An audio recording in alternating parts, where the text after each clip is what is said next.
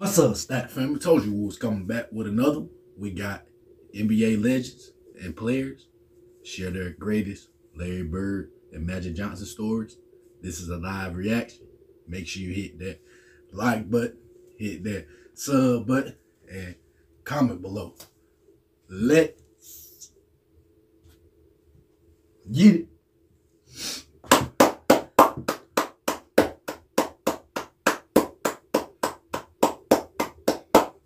Already know how I go. It's live and legendary. Shout out to Big Bird. Shout out to Magic. And we thank you, Lord, for another day. Now, I promise you, now it's big every day. We enjoy every day. You know, we fired up for it. Shout out to them real legends. Y'all already know we ain't done with them 90s. We ain't done with them 80s. We ain't done with them 70s. We ain't done with them 60s. We definitely not done with them 50s. We definitely not done with them 40s. When it start Naismith, 46, we legendary around here. Shout out to y'all out there. Hope y'all having a good day now. For real. Y'all already know we don't do no faking around here. Make sure you being a real you. Let's get down to it. Big Bird Magic. Goodbye. She's gone. Y'all know what time it is. We early with it. we to get started early. We ain't to hold y'all up for nothing. It's your time. I'm ready. I'm just as ready as y'all ready. You feel me? Let's get down to it now. Real legend now. We thank you, Lord, for another one. I promise you.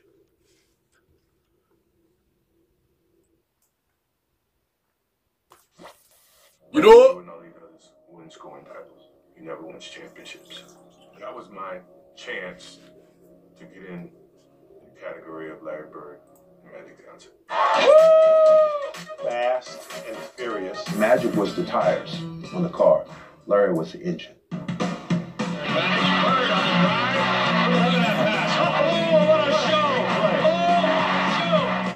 Want you to know something.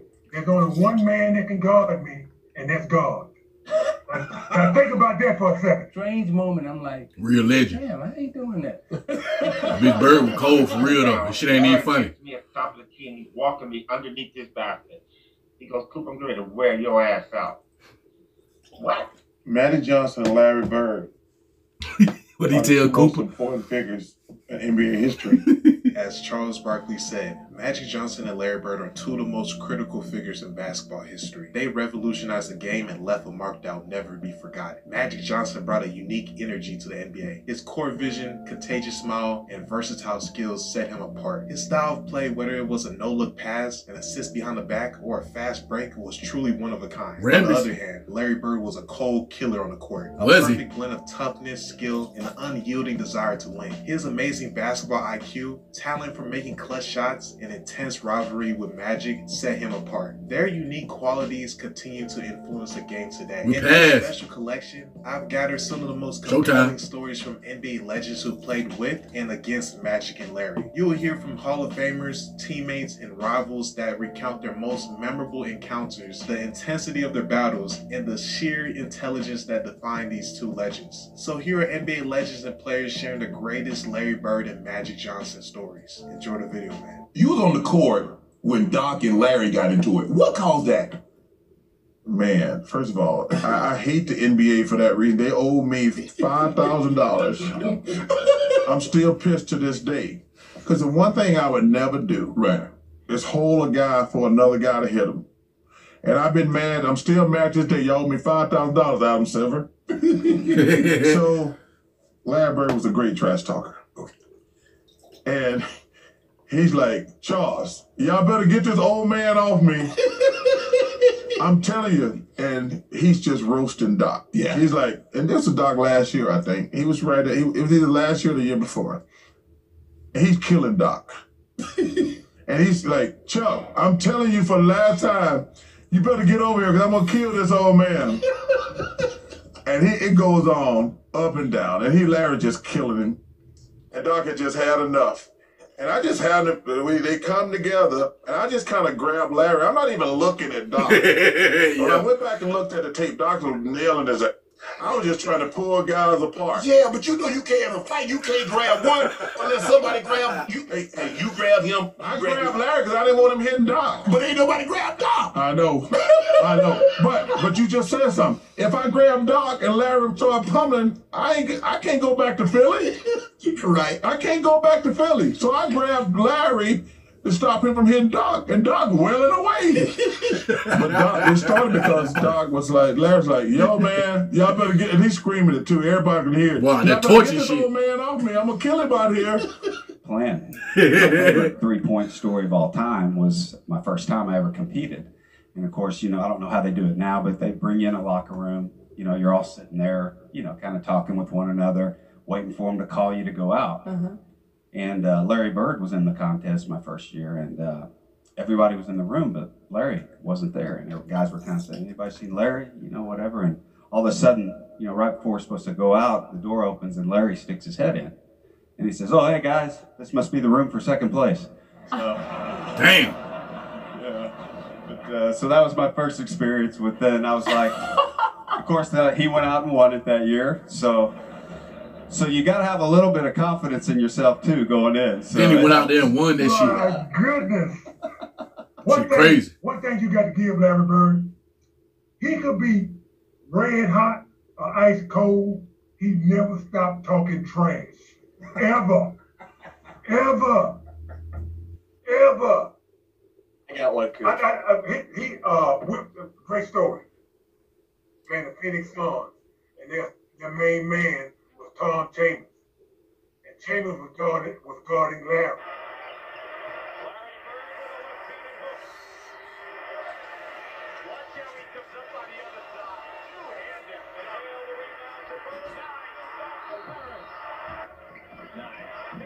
Good move.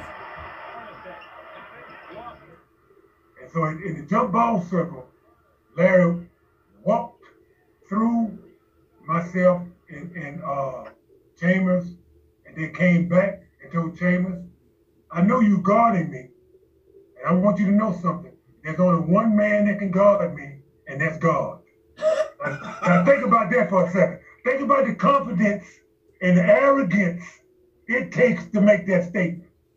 think about that for a second. Hey, Rob, let me ask you this one. Uh, there's a story going around where KC Jones was drawing up a play, and you guys were all in the huddle, and I guess he was having a hard time saying it. Larry told him, "Hey, give me the ball, and the rest of you guys get the hell out of the way."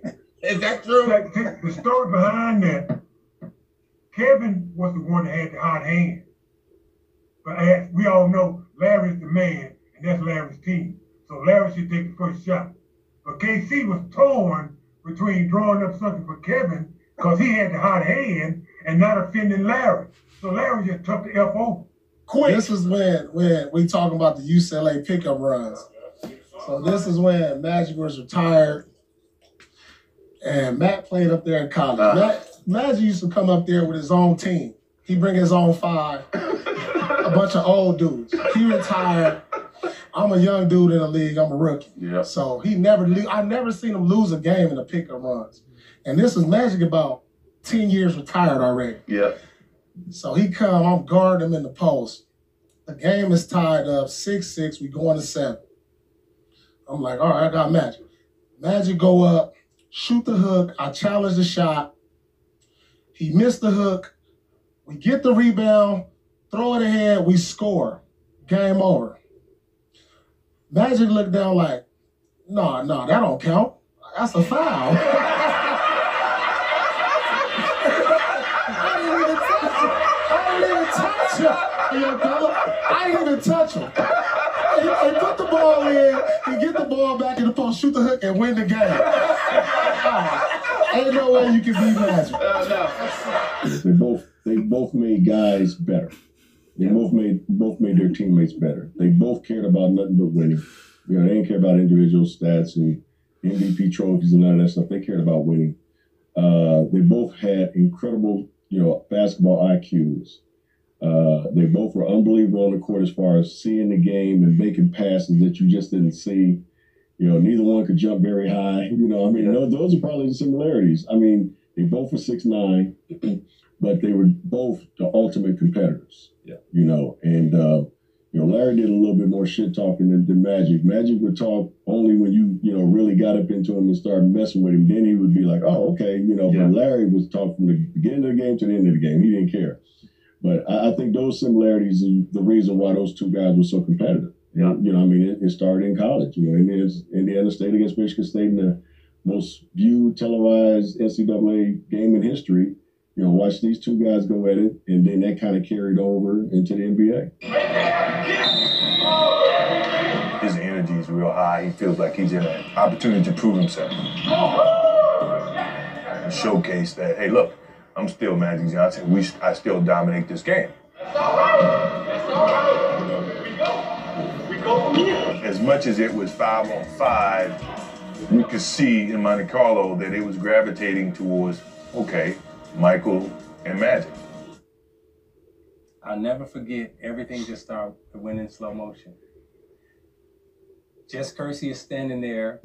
I'm looking at him, and we froze. We celebrating, and Jess Kersey starts to count because he's standing there and he he has the one count. So I run over. We we look at the bench. No timeout. Nothing.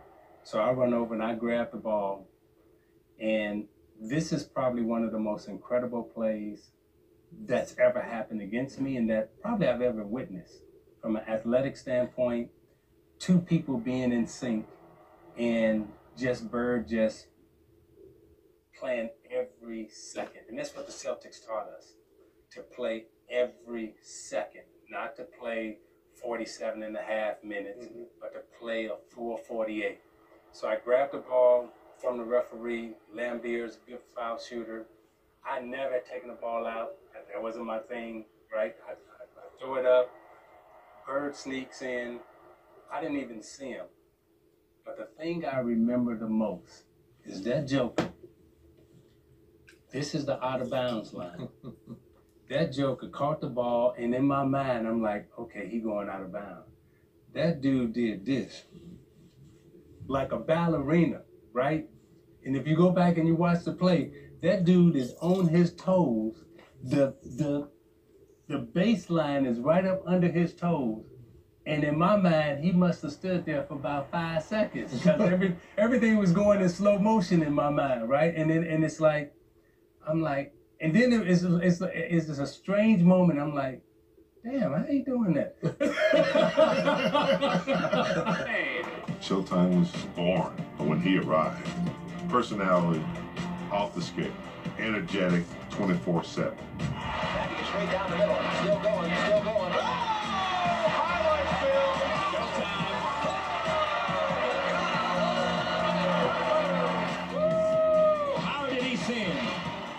always say that if I had to pick a team, he's my first pick because I know he's going to make whoever else I pick way better than they than they are. when you walk out of the locker room, here's this guy that's like, you know, let's go, let's go, let's go, let's get it on, let's do this, let's do this, let's do that. So all of a sudden you got this college atmosphere with the Lakers because Magic brought all of that fear. He came in, man, he's pushing that ball up the floor, and we were like, we gotta run.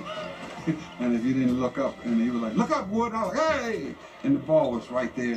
When I went to the Great Western Forum, then watched Magic come down and do his thing, you know, and orchestrate his team and make them understand this way, this, this we gonna run this. I mean, I was in awe, you know, and, Don Nelson, he had to called a timeout, had to take me out the game because he's like, I hope you're not going awe and watching him and not really playing. I wanted to tell him, yeah, I'm, I mean, I need to sit down for a minute because, wow, it took me a half just to realize that I'm, I'm, I'm playing against Magic. remember one time coming into the, the huddle, and I played against Magic a number of times, and, and Dennis Johnson always uh, defended Earvin and walked up to me and goes, man, is that guy strong or what? I said, I know he's, he don't look very strong, but he's pretty strong. And he goes, Jesus, some of the things that he does out here, he said, there's no way I can stop him. He said, but don't you ever tell him. It was funny. That's when Larry Bird. when, I think we're in a car together. I'm posting him up, and he's laughing, and he was he was telling me something. He's like, because you started that shit. Kiss your mom, and then we playing. You started that, they booed. Hey, I listen, didn't they, start that shit. The man- they- the- the hey, they were started- booing me in Hartford. I'm like, well, motherfucker, I'm from here. Hey, soon, as, soon as that shit started, I said, man, I hate Boston, and I ain't like, I was rooting for the Knicks all the time. Uh, I don't know if you remember this game, Larry, but we played in Hartford. It was an exhibition game. We went up one, and and we walk out on the court, and Benson is guarding Larry, right? And Larry looks at me and he go, he was calling me cheesy. He go, cheesy, like you, you putting him on me. Said, you, you putting him on me? I was, like, I was like, that's all I got, man. That's all I got right now. Eh? And he go, I'm taking right down to the baseline. I'm shooting right over him. So after the game, our buses were lined up next to each other, right? And Larry goes, hey man, don't don't ever put that guy on me again. like, right? So the next year, coming back, right?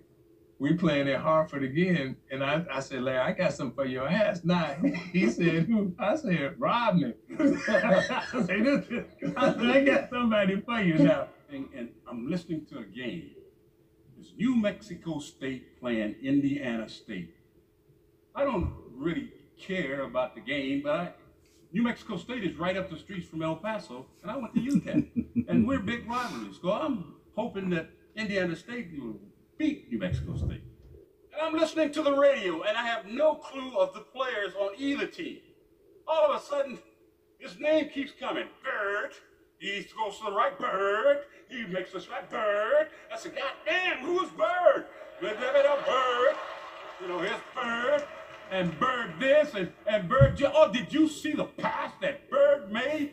I can't see it, but I'm just trying to imagine it. and I, I- when the time I got to the end, I said, damn, that brother can play.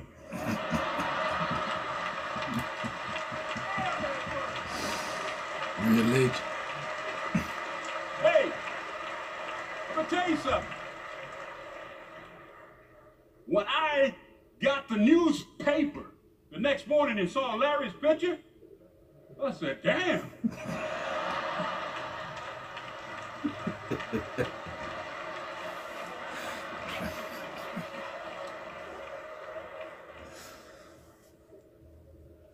Woo!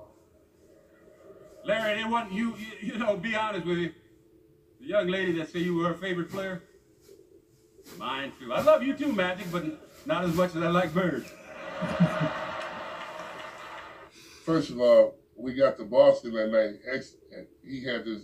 He had some knee. He had some knee pain, and I was like, "It's a hell of a time for you to come over to knee pain." he, I ain't going tonight. You got. Yeah, you don't wanna got- see that. Yeah, you know. I, I, I look at the boy. I saw kept like, right. I'm like, so you know, I look in the mirror. I'm like, well, shit, bro. I'm about to get this motherfucker fits out here. tonight. So I was before the game. I was over there rubbing my hands, looking at him like, I'm like, ass. What year was this for you? This was my first year. Okay. And uh, that day, they came out with a. That morning, they came out with a USA USA Today article, and they said that Larry didn't have it no more. Whoa. So he came out that night to make a statement, and I was just the prime candidate. Yeah.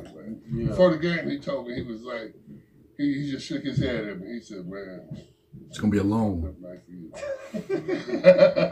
So what did he put up? I think he gave me what he gave me. I think he gave me 40, 46 and three. What'd you do? Man, I hadn't found out, but I was on his ass. I'm gonna tell you, I'm gonna tell y'all this, man. I'm gonna tell you this, man. I was on. He was actually calling out bank shots. He would say, um, next time, uh, bank shot left side. I'm gonna pump fake you. Your dumb ass gonna go for it. I mean, He would tell you that, and it happened. I said, I said, first of all, I'm gonna be so close to you. If you if you shoot the ball next time, I'm gonna try to rip your fucking arm off. You shot. and what you think he did, man? A quick pump fake dog, and you go for that shit. here. ah, Got you. man, come on, man. Come on, Larry was. How cold was? I don't think. I, I But I guarded his ass so tough. I guarded his ass so tough that after the game, he came. He, he sent a little letter over there to me. He was like, he was like, I've had nobody play defense that hard on me. Mm-hmm. I love He go, I appreciate you playing out here. Then he was like, I got a little All Star game why don't you come work out with me? Come to All Star game, man. And let me see that summer. I was like, shit, that meant everything to me. Yeah, that's- So, that's but- You guys became friends after that. Absolutely. To this man. day? Absolutely. So it went from him whooping my ass Right. to him teaching me a few things. I so love I, I, that. I surely appreciate it. that's- And that's, that's the old NBA. That's how it used to That's be. how man. it's supposed to be. you know, Larry never really talked to me. But one particular in the '85, you know, the '84 series, we're playing in, in the in the forum, and this particular play down it was a timeout, and they're coming down, and Larry gets me at the top of the key, and he's walking me underneath this basket. He goes, "Coop, I'm ready to wear your ass out." What? Okay, I get down to my best defensive stance. He goes down the lane. He comes off the left side, and Robert Parish sets a pick. Great picker. Great picker.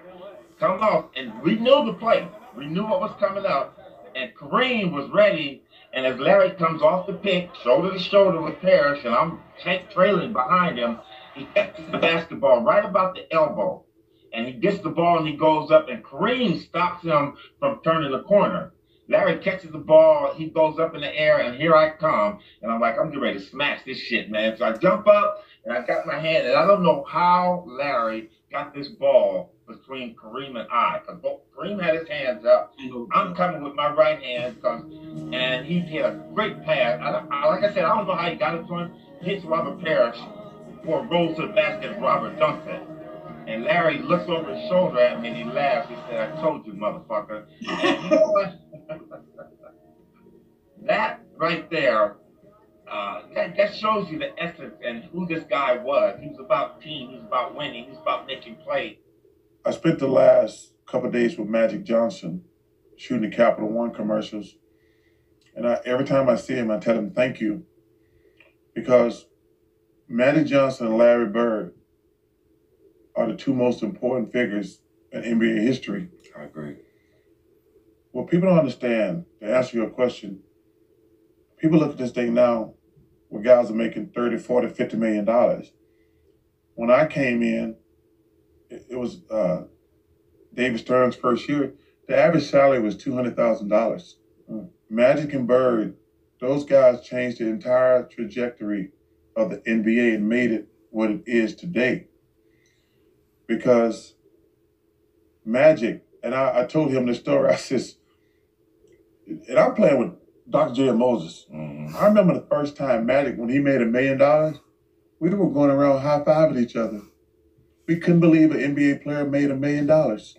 That was Magic. He was the first player to make a million dollars. What year was that? It was 85, 86, somewhere in there. But he sounded like it was like a 20 year. 25 years, 25 million. A million a year. Yeah. Mm-hmm. And we like me That and Doc it. and Moses, like Right. I'm not talking about regular guys on the team. I'm mm-hmm. talking like they had never made a million dollars before. Mm. Everybody was telling me that Magic scored so many points on me. But you go back, you look at the film, and you'll see who was guarding. It certainly wasn't me because I doubt if he'd have been able to get his arm up to shoot a foul shot after the first 30 on me. You see this play happen. I'm standing there. I see the ball ricochet off. I'm about to go grab it. So I really could have messed up one of the best plays Brandon Arback ever saw. Now, for a guy who can't jump and not supposed to be able to run that fast, he sure can get a lot done. So guys, I hope you enjoyed the video and let me know what is your favorite Magic or Bird story. So make sure you like, share, subscribe, and until next time.